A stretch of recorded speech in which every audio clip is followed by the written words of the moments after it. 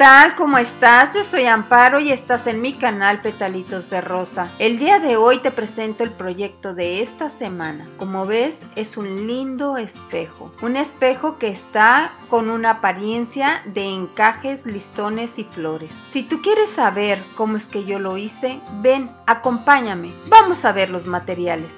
Los materiales que vamos a utilizar para este tutorial son los siguientes gises de colores para colorear la porcelana fría, un pincel, un espejito, pegamento blanco, porcelana en diferentes colores, esto es al gusto, unas piedritas decorativas, un rodillo, estecas y un marcador de puntadas. Comenzamos. Hola, ¿qué tal queridos petalitos? Quiero agradecer a cada una de las personas que se están uniendo a esta gran familia de petalitos. Muchísimas gracias por estar formando parte de esta familia de petalitos. Gracias también por aquellos comentarios tan positivos que me han estado mandando. Muchísimas gracias por sus halagos y por todo el interés que tienen ustedes para con todos estos tutoriales. Te animo a que lo puedas compartir para que otros también estén enterados de todos estos materiales. Y también damos las gracias a aquellos comentarios que no han sido tan favorables, pero pues que ahí están. Gracias también por esos comentarios porque esos comentarios me hacen ver a mí cómo poder mejorar tal vez algunas cosas. Y quiero mandarle un saludo muy especial a Valentina de Colombia. Ella pidió que se le mandaran saludos y aquí estamos,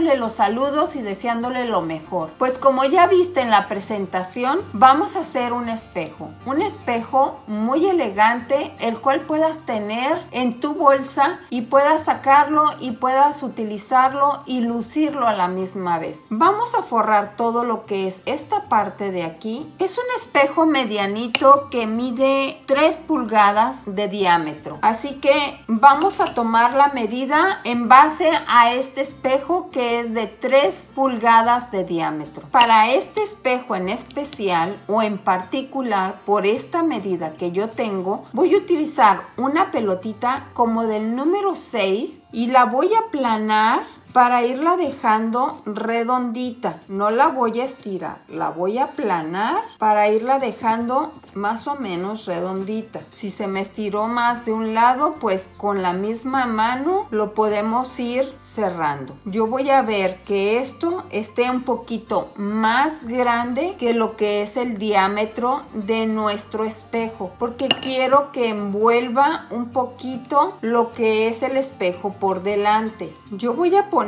resistol, voy a procurar, miren, que me quede más o menos el mismo grosor en todas partes. Si no está así, hagan lo que yo estoy haciendo para que se quede más o menos del mismo grosor. Este espejito tiene unas como patitas como de fieltro. Ahí se las voy a dejar, no nos estorban. Voy a poner resistol en toda el área vamos a poner el espejito en lo que es la porcelana. Y miren, voy a empujar un poquito la porcelana para que agarre una pequeña orillita y me tape lo que es la línea del espejo para que no quede el filo del espejo como volando. Así no nos vamos a cortar ni nos va a pasar nada. Para la parte del medio del espejo voy a hacer un pequeño rollito el cual voy a aplanar con mi rodillo voy a hacerlo cuidadosamente porque si no se me va a doblar. Y esta parte la voy a afinar.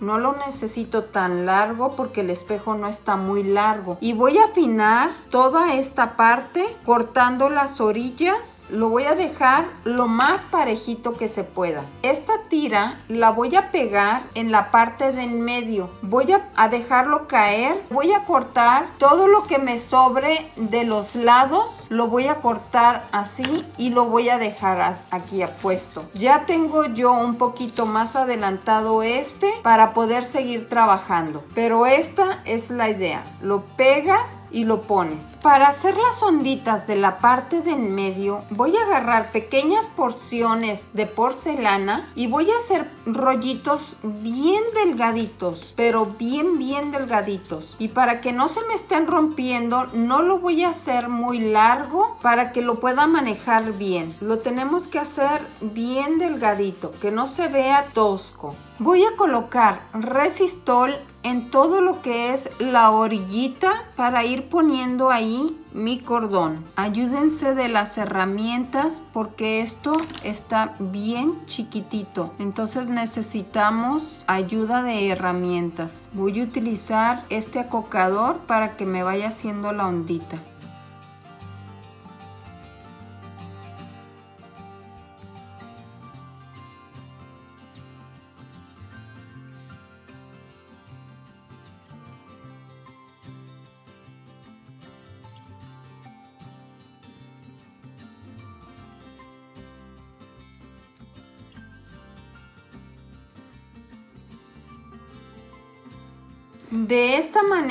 Me queda, voy a hacer de la misma manera este de aquí y ahorita regreso con ustedes. Miren, estoy viendo que como el trabajo es blanco no se está notando. Estaba checando ahorita el video a ver si se están notando los detalles y veo que se batalla para ver cómo estoy haciendo las onditas. Lo voy a hacer en color un poquito más fuerte para que lo puedan ver, lo puedan apreciar y lo puedan hacer. Bueno, miren, aquí tengo esta tirita la hice en color café para que la puedan ver. Y hice una tirita un poco más gruesa que la que hice en el blanco para que lo puedan ver. Puse resistol en toda esta orillita y utilicé esta herramienta como lo están viendo en el video. Voy a cortar la punta que está en pico y voy pegando. Hago esto y con mi acocador hago esto y con la que corto a plano. Vuelvo a hacer ondita. Les repito, lo estoy haciendo más grande que lo que es para que lo puedan ver. Y vuelvo a aplanar. Gentilmente, no lo hagan muy fuerte porque después se les va a romper. Vuelvo a hacer la ondita y vuelvo a aplanar. Vuelvo a hacer la ondita y vuelvo a aplanar. Espero que hayan alcanzado a ver. Y estas onditas después las bajo con el dedo y las acomodo a que se vean más o menos iguales. De este lado ya hice estas, de este lado es lo mismo, exactamente igual. Con un marcador de puntadas, que este es realmente para costura, para corte y confección. Me gusta utilizar este porque tiene unos puntitos bien finitos que nos ayudan a que la puntada no se haga tan grotesca. Y me voy a ir por la mera orillita donde engarcé cada ondita y voy a crear las puntadas. Algo así. Espero que lo puedan notar. Así como hice esto, voy a hacer dos más de estos aquí a los lados. Voy a mostrarles. El procedimiento lo van a estar viendo, pero el detalle ya se los expliqué en este color café. Vuelvo a hacer un rollito, lo voy a cortar a la mitad para usar la mitad para un lado y para el otro. Y voy a hacer otra vez otro listón. Lo voy a emparejar, no lo voy a dejar muy grueso, lo quiero delgadito lo levanto con mucho cuidado y este lo voy a poner, pero no lo voy a poner hasta mero arriba, lo voy a poner como aquí a tres cuartos de lo que es mi diseño, ahí como a tres cuartos y corto lo que es el excedente. Creo que este también, este mismo me puede servir acá. Miren, lo voy a dejar a tres cuartos. Voy a cortar la punta que se puso fea. Y voy a tantear más o menos la medida que tiene el anterior y corto el excedente. Y esto lo voy a afinar con mis dedos. Voy a bajar los bordes para que no se vea tan bromoso. Si me quedo más ancho de un lado pues lo junto con la esteca. Voy a hacer las onditas que van a los lados de estos dos listones. Cuando termine las onditas de un lado y de otro regreso con ustedes ya terminé los dos lados chiquitos que les había dicho y ahora voy a poner resistol en la parte de en medio de los encajes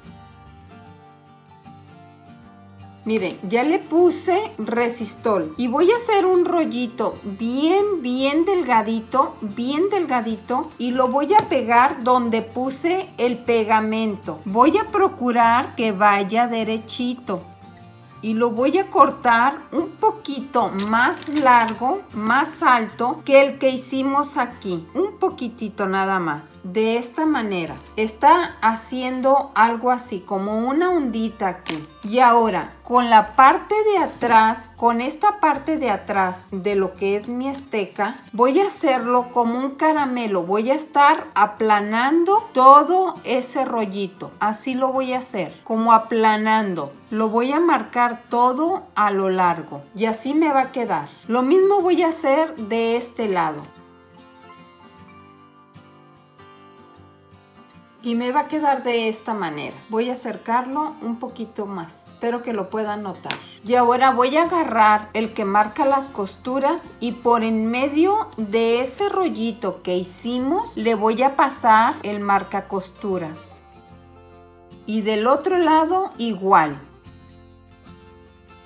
Y me queda de esta manera. Para el rufle voy a hacer una tira así de delgada. No la voy a hacer muy gruesa porque no lo quiero bromoso. La cual voy a aplanar con el dedo primero y después voy a pasar el rodillo para poderlo aplanar un poquito más y dejarla el listón que yo requiero. Voy a agarrar mi rodillo y despacito voy a ir aplanando. No lo voy a dejar delgadito, lo estoy dejando grueso porque no quiero que se me vaya a romper. Como esto va a la bolsa, así como está de grueso, vamos a hacer el rufle. Miren, voy a estar, voy a cortar esta punta y voy a estar doblando de esta manera, hacia atrás, haciendo pliegues hacia atrás.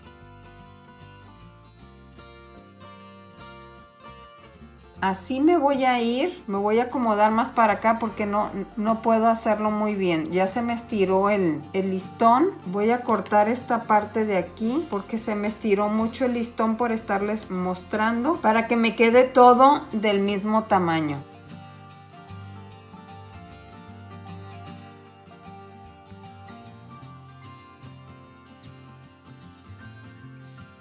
Una vez que lo tengo así, lo voy a dejar bien derechito y voy a agarrar una esteca redondita como si fuera un rodillo pero pequeñito y voy a aplanar la parte de arriba de todo mi rufle bien bien aplanado. Una vez que ya lo tengo todo aplanado, como este está más largo, y entonces voy a cortar todo al mismo nivel. Y este rufle en la parte delgadita de amero arriba Vamos a quitarle las tiritas que le hayan quedado como piquitos. Vamos a bajárselas. Yo tengo aquí un pedacito avanzado porque quiero mostrarles cómo voy a unir las dos piezas. Si tú puedes hacer el encaje todo de un solo listón, pues mucho mejor. Pero yo no lo quise hacer así porque como es muy largo, se me va a enredar todo. Entonces yo no quise eso. Voy a poner resistol en esta parte de aquí junto con la terminación de lo que es el encaje y también aquí y voy a poner el encaje de esta manera. Y voy a cortar mi encaje y lo voy a unir. Y me va a quedar de esta manera. Miren qué bonito queda. Muy muy bonito que queda. Voy a tratar de que se peguen bien lo que son las uniones entre un encaje y otro. No se nota porque son rufles. Entonces se pierde eso que quedó cortado allí. Y por la otra parte pues queda de esta manera. No se preocupen por la terminación del lado del espejo. Eso lo vamos a hacer al último cuando esto ya esté seco y nos permita trabajar. Bueno, esto ya está un poco más oreado ya está más seco, ya puedo trabajar. Lo dejé secando con una vasijita un poquito más alta y lo dejé así para que la parte de abajo no se me lastimara. Así que ya podemos seguir trabajando. Voy a poner un listón en la parte de aquí. No es más que hacer un pequeño rollito. El listón no va a ir muy grueso, va a ir delgadito. Más o menos así el rollito. Y voy a aplanar con mi dedo para que no se me deforme al momento de pasar lo que es el rodillo. Y voy a pasar poquito a poco a emparejar este listón. Esto lo voy a cortar más o menos a la mitad para poder poner los dos listones que van a los lados. Voy a afinar todo lo que hice del corte para que no queden como hilos estirados en la porcelana. Y esto lo voy a pegar, ya lo puedo poner hacia abajo porque ya se secó, ya pasó un día. Este lo vamos a poner aquí, vamos a ponerle poquito pegamento en la parte de en medio y vamos a dejar que caiga. Y lo mismo vamos a hacer del otro lado. Voy a afinar todo mi cordón y pegamos el listón. El cordón cae a los lados de lo que es el encaje. No lo voy a pegar, solamente le voy a poner un puntito de pegamento aquí para que si va a encoger, encoja lo que tiene que encoger así de esa manera. Y para la parte del lado del espejo, vamos a hacer un pequeño rollito. No lo queremos muy grueso, un poquito delgado, porque con esto vamos a prolijar lo que es el trabajo. Lo voy a cortar para seguir estirando la porcelana. Voy a cortar las puntas, ponemos resistol y lo colocamos. Y esto que se vaya secando boca abajo, arriba de esta vasijita. Ahora miren, voy a poner estas florecitas pequeñitas que tengo aquí. Voy a poner tres en la parte de arriba y unas pequeñas hojitas para que pueda verse bonito. Y como centro de lo que son los listones. Si tú quieres ponerle unas florecitas como estas, pues te dejo el link en esta parte de aquí de arriba para que vayas y veas cómo es que se hacen las florecitas y no tengas ningún problema y puedas poner tú también tus propias florecitas.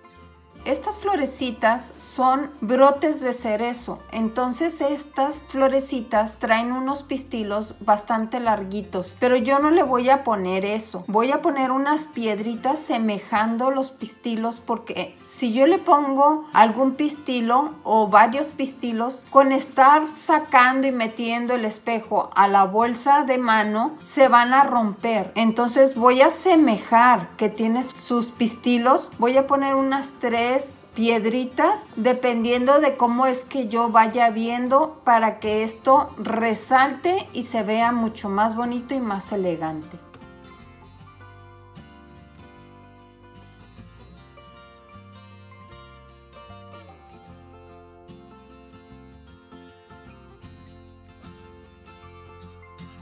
Quiero mostrarles que ya está seco el trabajo. Lo único que hice fue colorear un poquito con los gises de color, darle un pequeño sombreado a lo que es el listón rosa y por la parte de aquí del espejo quedó seco y di una pequeña sombra de rosita en esta área de aquí. Todo ya está seco y quedó perfecto el espejito. Este espejito tú lo puedes traer en tu bolsa y al sacarlo se va a ver sumamente elegante porque así es como quisimos darle ese aspecto. Y miren quiero mostrarles algo. Yo hice este pequeño saquito con mi máquina de coser. Esto es opcional pero yo lo quise hacer porque estos son encajes lo que yo puse aquí. Entonces me pareció muy bonito guardar el espejito dentro de lo que es el saquito para que cuando esté dentro de la bolsa ya ven que traemos muchísimas cosas en la bolsa, no se maltrate y se vea bonito. Miren nada más, qué belleza. Quedó hermoso. De esta manera tú